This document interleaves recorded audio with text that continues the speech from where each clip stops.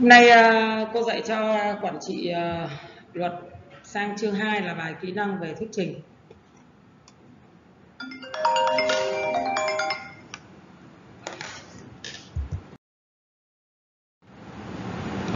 Cô đi vào phần thứ nhất là khái quát về thuyết trình.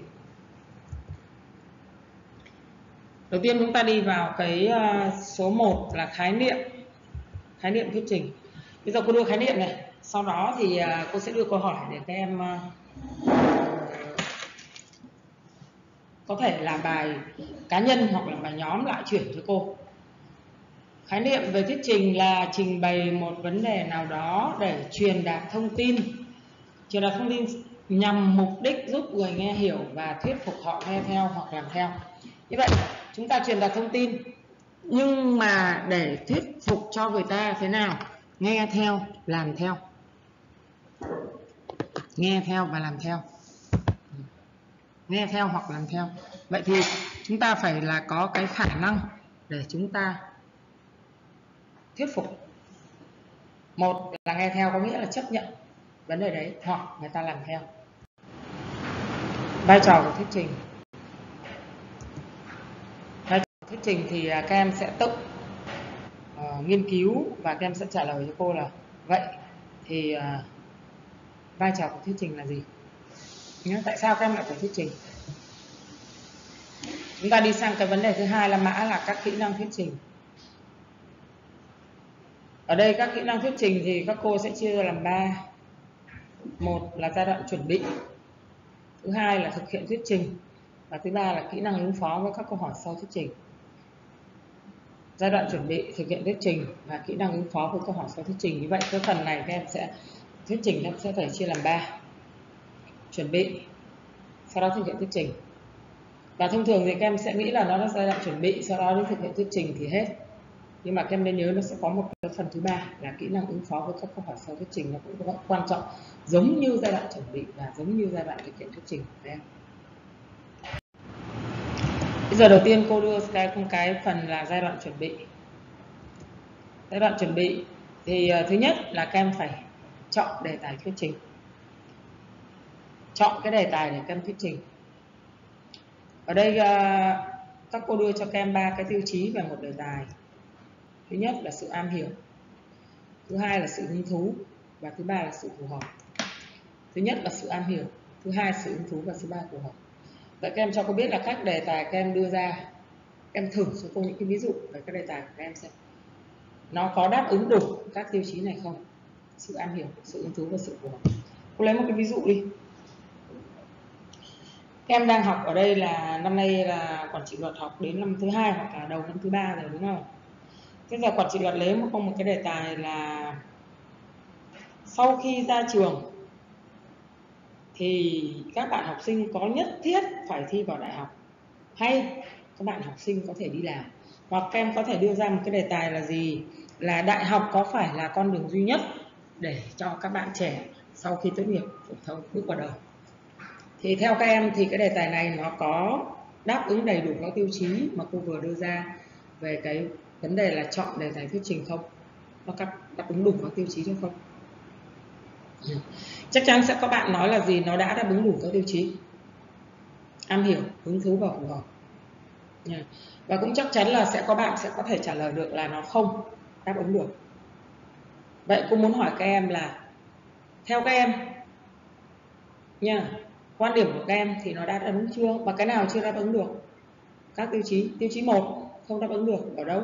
Tiêu chí 2 và tiêu chí 3 thì các em sẽ tự, phải tự trả lời cho cô xem là vậy. Ví dụ, cô lấy những cái đề tài đó, thì nó đã đáp ứng các tiêu chí đó chưa? Và các tiêu chí đó nếu chưa được đáp ứng thì là ở chỗ nào? Nhé cụ thể.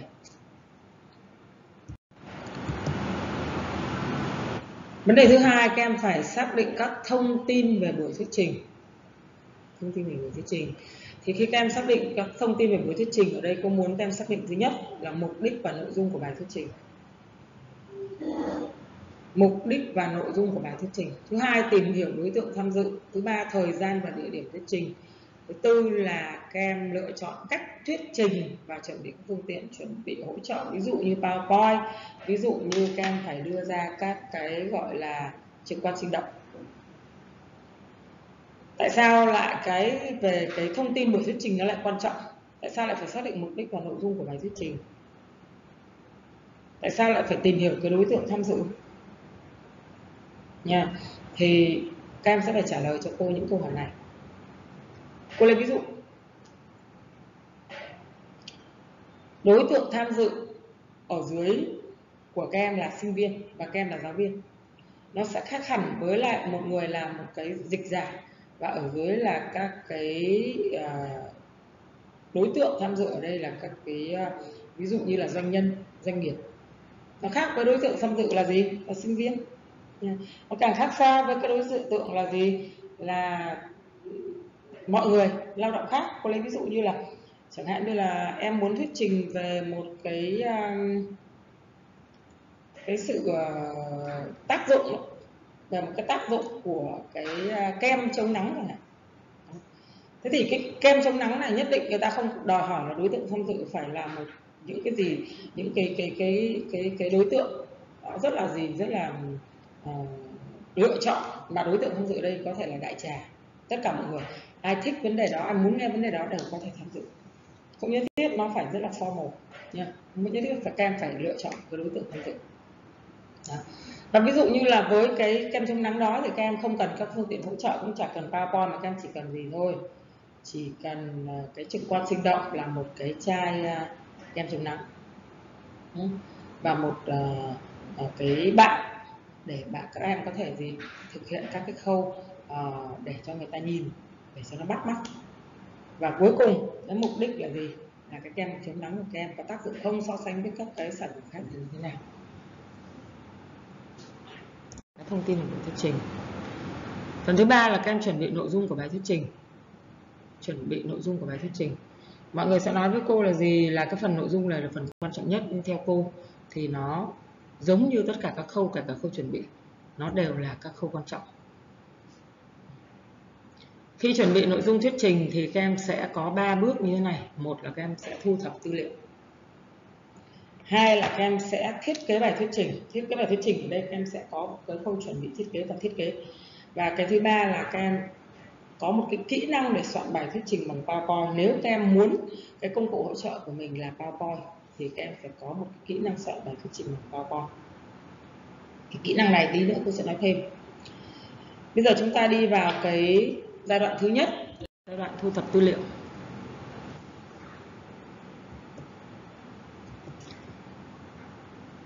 Thu thập tư liệu thì uh, các cô coi là như này này. Cái nội dung thuyết trình là khâu chuẩn bị quan trọng nhất và cũng đòi hỏi công phu nhất nội dung của phần thuyết trình là khâu chuẩn bị quan trọng nhất. Có nghĩa là cái khâu chuẩn bị cho cái nội dung này là quan trọng. Và đòi hỏi mình phải làm việc một cách gì? Rất là kỹ càng rất là rất là rất là, mình phải để tâm toàn bộ vào cái phần đó, vì nó là cái phần mà các cái bước đệm để các em thực hiện các bước sau nó tốt hơn. Các em phải xác định đề tài và mục tiêu của việc thuyết trình sau khi các em chọn được đề tài rồi xác định mục tiêu thuyết trình và các em thu thập các tư liệu liên quan. Cái việc thu thập thông tin này phải cần tham khảo từ nhiều cái nguồn tư liệu và như cái bài một cô đã nói rồi cái nguồn tư liệu ở đây nó rất nhiều. Bây giờ các cái phương tiện thông tin đại chúng và các em lên google các em online các em lên mạng nó rất là nhiều cái nguồn tư liệu và các em phải, sẽ phải chọn lọc nguồn tư liệu nào là nguồn tư liệu mà tin cậy?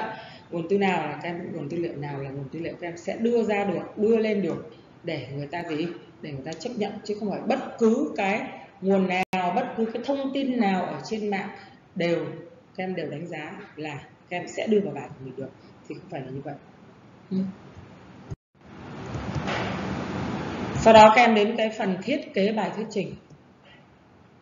Thiết kế bài thuyết trình thiết kế bài thuyết trình thì đầu tiên là các em sẽ thiết kế cái phần mở đầu ấn tượng.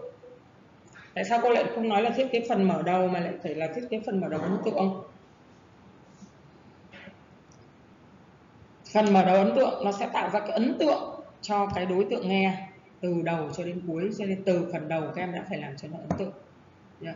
Và tí nữa cô sẽ cho các em một số các cái cái, cái gợi ý là tại sao làm thế nào cho nó trở nên ấn tượng. Tại sao cái bài của mình nó ấn tượng mà bài của bạn không ấn tượng? Và làm thế nào thì bài của mình nó trở nên ấn tượng? Đó, tí nữa các cô sẽ cho các em một số các gợi ý. Nhưng bây giờ đầu tiên là, là các cô sẽ nói về phần khái quát cho cái phần mở đầu. Thứ nhất các em nêu ra mục đích của buổi thuyết trình. Mục đích của buổi thuyết trình. Đưa ra các nội dung quan trọng. Lợi ích của bài thuyết trình và lịch trình làm việc của các em. Có nghĩa là những cái đó các em phải set up cho các bài thuyết trình của mình. Mục đích của buổi thuyết trình, các nội dung quan trọng, lợi ích của bài thuyết trình và lịch trình làm việc. Bây giờ các cô sẽ à, gợi ý cho các em về cái phần thiết kế mở đầu ấn tượng này. Tạo ra một tình huống gây cấn, kể một mẩu chuyện liên quan tới đề tài, đưa ra những con số thống kê gây chú ý nêu câu hỏi kích thích sự tò mò của người nghe. Và các em chia sẻ tình cảm một cách chân thành. Có nghĩa là nếu các em muốn hướng cái người nghe tới một cái mở đầu ấn tượng của người nói, của người thuyết trình, thì các em sẽ lựa chọn một trong các cái gợi ý của các cô. Cũng có thể các em sẽ là một gì? Là một lựa chọn khác, một tiêu chí khác, nhưng vẫn gây ấn tượng. Đây là các gợi ý thôi. Các cô chỉ đưa ra năm cái này là gợi ý thôi ví dụ như các em sẽ có à, đưa ra con số gây thống. Chú ý chả, tất cả các bạn đang rất là gì, rất là lan man và rất là không để ý bài thuyết trình của em. Các em sẽ viết lên bảng là gì? Là, chẳng hạn như là,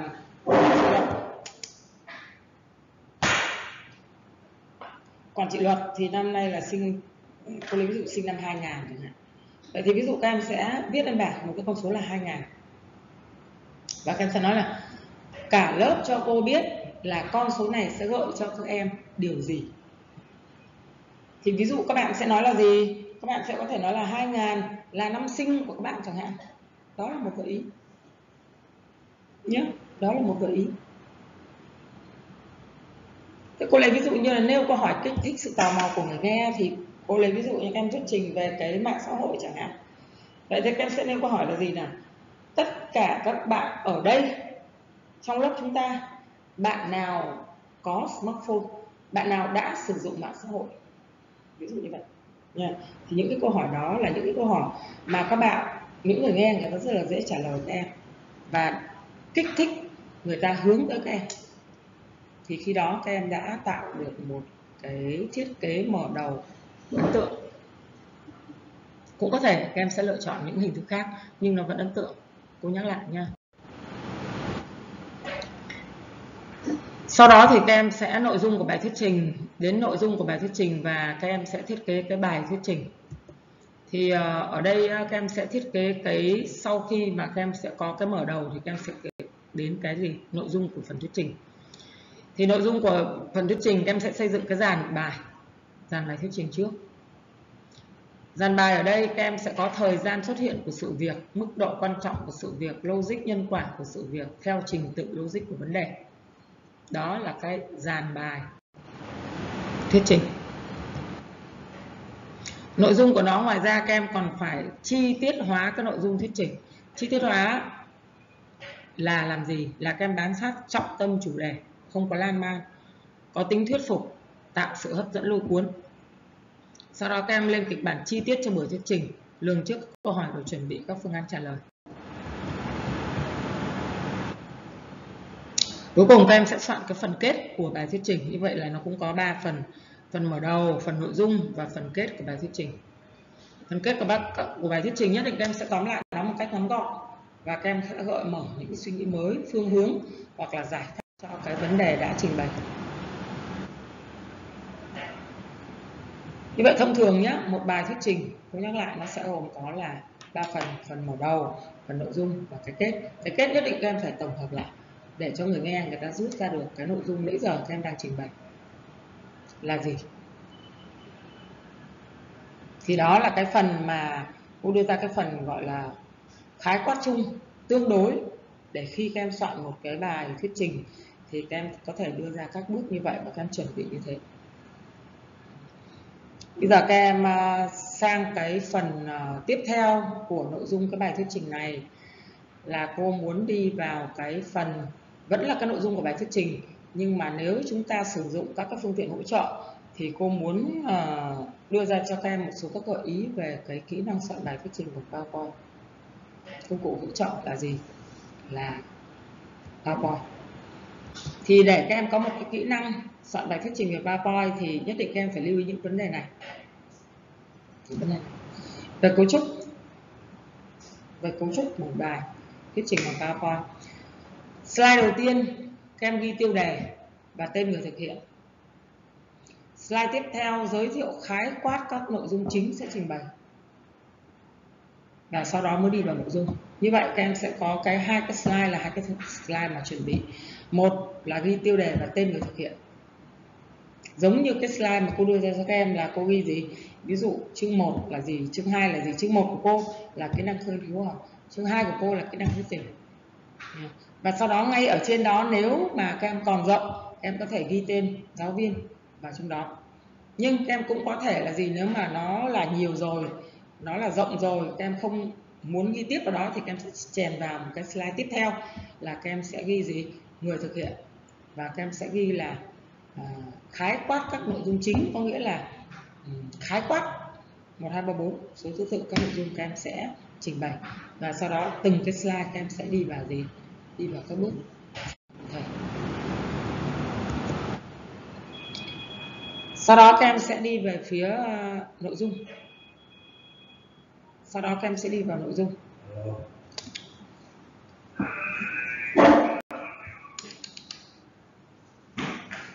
Em đi vào khi mà em đi vào cái nội dung của bài thuyết trình.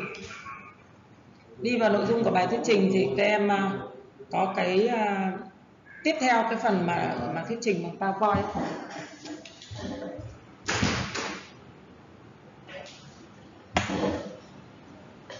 thuyết trình PowerPoint sau khi mà các em đã có những cái chuẩn bị về cái slide rồi thì khi các em thuyết trình về các cái slide nội dung á, thì các slide thuyết trình nhất định nó phải chứa những cái thông tin quan trọng mà các em cần truyền tải. Nó không nhất thiết phải đưa hết các tầng chữ nhưng mà nó phải chứa những cái thông tin quan trọng cần truyền tải.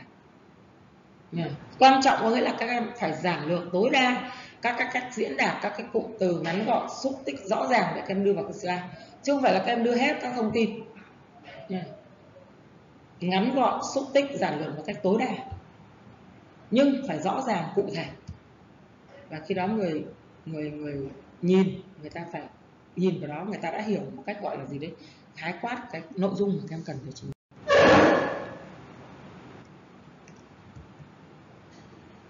sau đó cái hình thức trình bày slide này.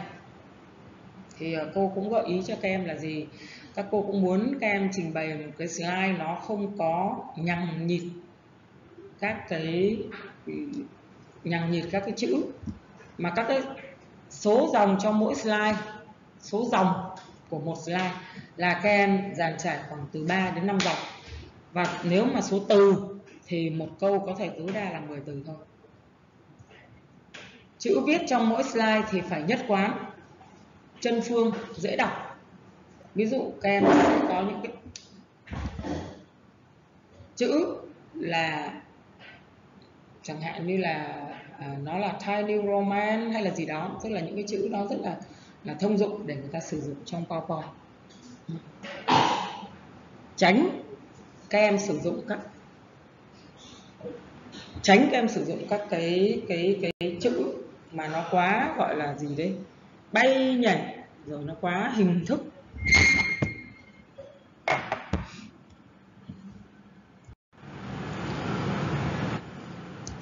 Trong việc uh, soạn bài và thuyết trình bằng PowerPoint thì em uh, em nên kết hợp chữ viết với hình ảnh.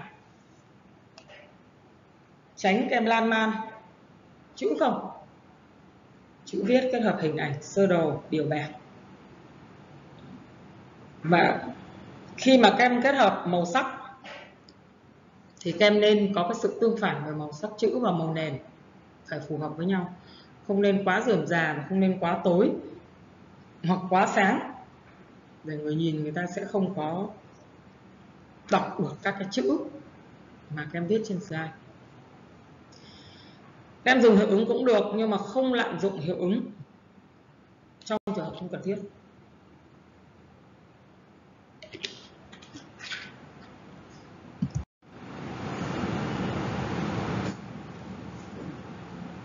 Sau khi các em chuẩn bị cái PowerPoint thì ờ, bước tiếp theo các em phải luyện tập trước khi thuyết trình.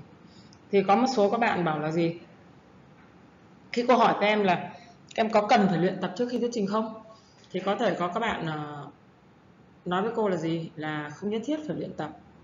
Và có những bạn thì ờ, luyện tập. Tức là các em có những cái cái lựa chọn của các em. Nhưng mà theo quan điểm của các cô gợi ý thì bắt buộc trước khi thuyết trình các em phải luyện tập. Luyện tập ở đây các em sẽ đi vào hai cái vấn đề chính cho các cô là luyện tập về ngôn ngữ cử chỉ, luyện tập về thời gian. Nhất định trong một bài thuyết trình, khi các cô cho các em về một cái đề tài hoặc là các cô bắt các em thuyết trình thì các cô sẽ cho một cái thời gian nhất định, cố định để các em thuyết trình cô lấy ví dụ có PowerPoint thông thường theo cô này quan điểm của cô. Thì khi bài thuyết trình mà các nhóm trình bày cho cô thì các nhóm sẽ phải trình bày là nếu có PowerPoint cô sẽ cho các nhóm từ 3 đến 5 phút. Còn không có PowerPoint sẽ từ 2 đến 3 phút. Tại sao có PowerPoint thì lại dài hơn? Tại vì các em sẽ phải gì?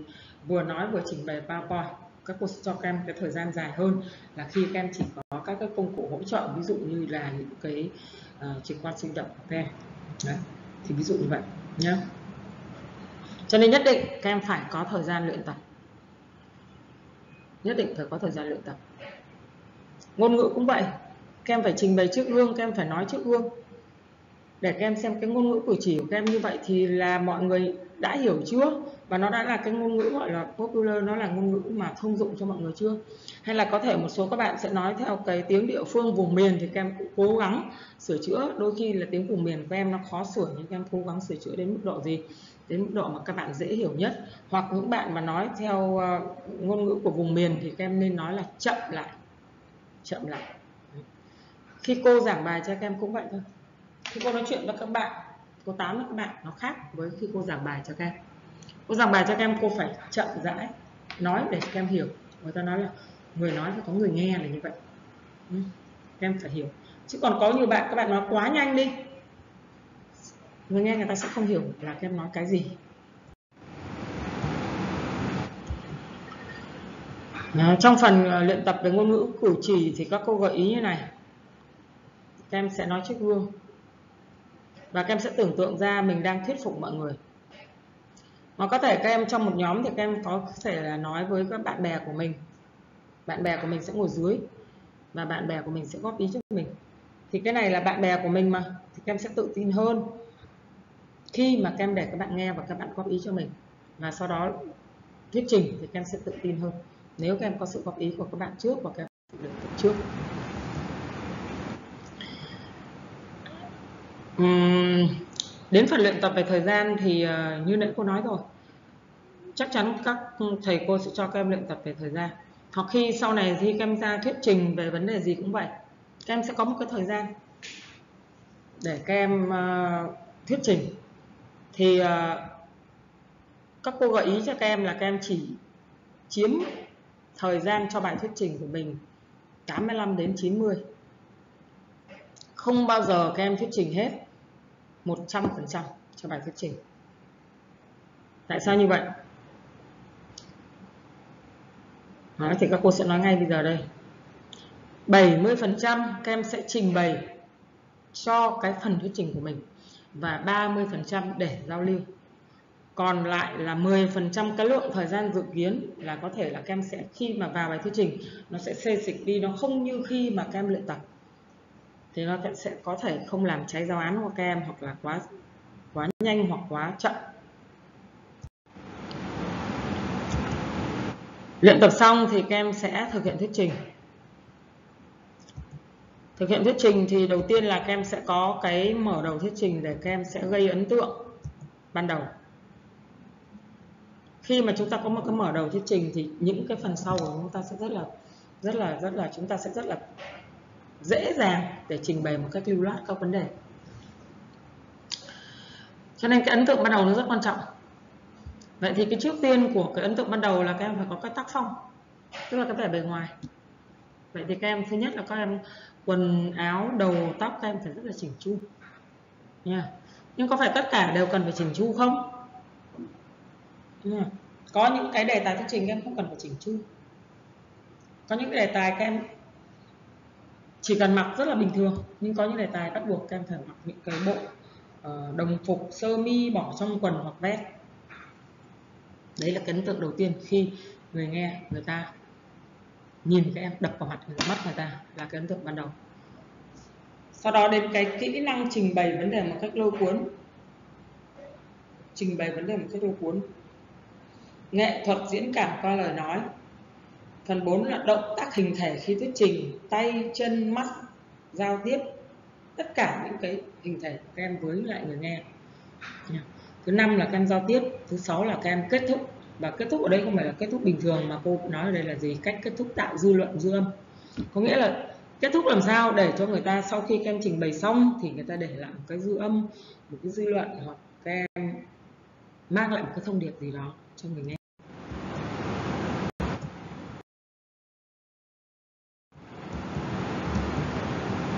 Gây ấn tượng ban đầu thì các cô ờ, gợi ý cho các em này bằng phong cách như nãy cô nói ăn mặc nghiêm túc lịch sự phù hợp. Đó, nhưng mà ví dụ như là cô cho các em một cái uh, câu hỏi này. À, trắc nghiệm này. Là gì? Trong cái buổi thuyết trình thì cái việc ăn mặc của bạn phải như thế nào? Thứ nhất nghiêm túc lịch sự. Thứ hai phù hợp. Cô cho hai lựa chọn như vậy thì các em chọn lựa chọn nào? Ừ. thì có thể các bạn sẽ chọn nghiêm túc lịch sử nhưng các bạn đọc lại các bạn thấy trong cái phù hợp nó đã có gì? Nghiêm túc lịch sử rồi. Tại sao? Tại vì khi một cái phù hợp, khi một cái bài thuyết trình mà, khi mà cái tiêu chí phù hợp vậy thì trong cái tiêu chí phù hợp nó sẽ có thể là gì?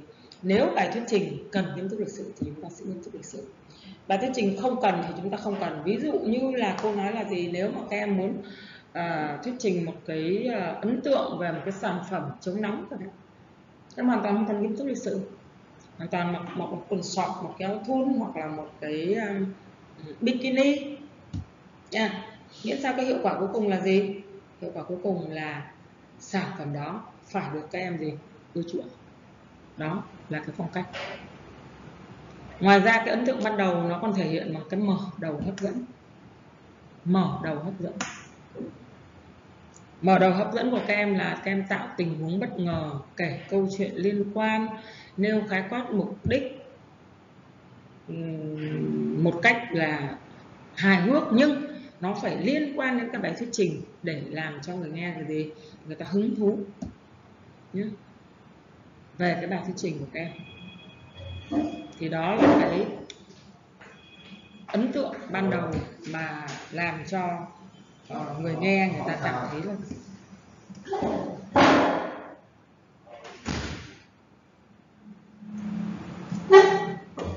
rất là hấp dẫn.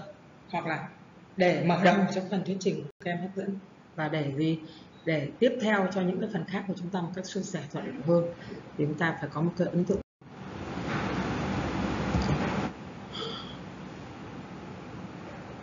Kỹ năng trình bày vấn đề một cách cuốn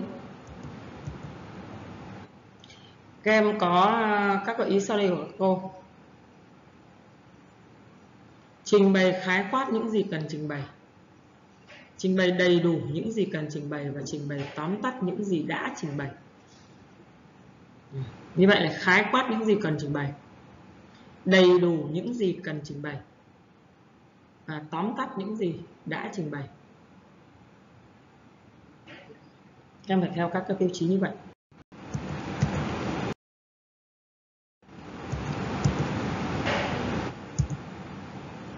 Tiếp theo là cái diễn cảm qua lời nói phát âm, các em phải thoải mái, tự nhiên. Giống như là chúng ta đang nói chuyện, nhưng mà nói chuyện một cách gì? Một cách nghiêm túc. Nha. Như vậy các em sẽ có ngữ điệu và giọng nói vừa phải. Các em phải làm chủ được cái tốc độ của cái giọng nói của mình. Không nhanh quá, không chậm quá. Và cái diễn ngôn ngừng nghỉ một cách tự nhiên hợp lý trong quá trình nói. Tóm lại, không những lời nói trong thuyết trình phải chuẩn xác, logic, ngắn gọn, xúc tích, mà âm phát ra cũng phải điều tiết vừa phải để làm tăng hiệu quả thuyết trình đôi khi các em nói nó lớn quá, người ta cũng làm biết tai người ta, nhỏ quá thì người ta không nghe thấy. Vậy các em phải điều tiết vừa phải, tăng hiệu quả của thuyết trình. Có nghĩa là người ta phải chú ý. Nếu không chú ý, người ta sẽ không nghe được bài thuyết trình của các em.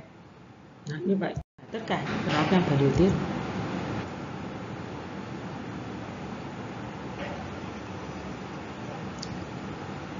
Như vậy là cô đã uh, xong cái phần các em uh, ờ, uh, ờ, thực hiện các cái phần thuyết trình. Xong cái phần các cái phần giai đoạn chuẩn bị và vào thì các em có cái diễn cảm lời nói này động tác hình thể. Lưu ý cho các à, lưu ý à, các cái gợi ý của các thầy cô này. Ví dụ mắt của các em phải cởi mở thân thiện này rồi à, điệu bộ đi đứng thay đổi linh hoạt này rồi cách đưa tay à, hoặc là cách mà các em sẽ phải sử dụng các cái động tác hình thể thì có thể các cô sẽ đưa thêm những cái clip mà trong đó người ta sẽ chỉ cho các em một số các cái động tác hình thể để làm cho nó không dối nhé người nghe. Và khi các em thuyết trình thì, thì, thì nó sẽ tăng hiệu quả của bài thuyết trình. Trong bài PowerPoint của cô thì các cô sẽ đưa ra các động tác là cần tránh này rồi à, nên như thế nào khi thuyết trình. Ví dụ như các em không có bút tóc xoay nhẫn xoay bút thì những cái này các em sẽ các cô sẽ đưa PowerPoint và các em sẽ thêm cái phần à, mà các em tránh hoặc các em nên làm đối với là các động tác hình thể. Giao tiếp giao tiếp thì cô nói rồi ngoài những cái vấn đề bằng mặt bằng mũi bằng hình thể thì các em có thể giao tiếp với người nghe bằng cách đặt câu hỏi này khuyến khích câu hỏi này khuyến khích người ta đặt câu trả lời này. Ừ.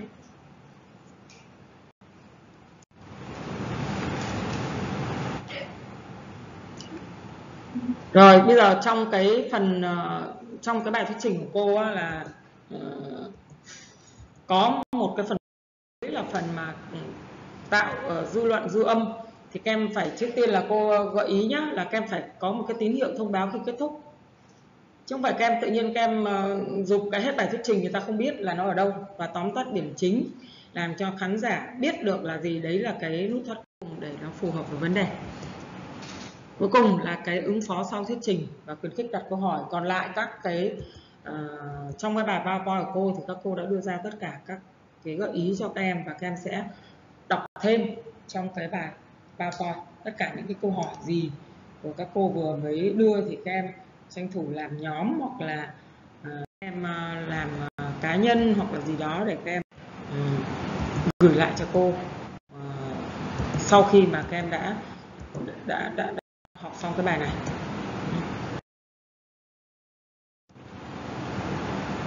Khoảng độ một, hai cái slide mà khi các em à, em sẽ à, các em đọc để các em đưa ra các cái câu trả lời.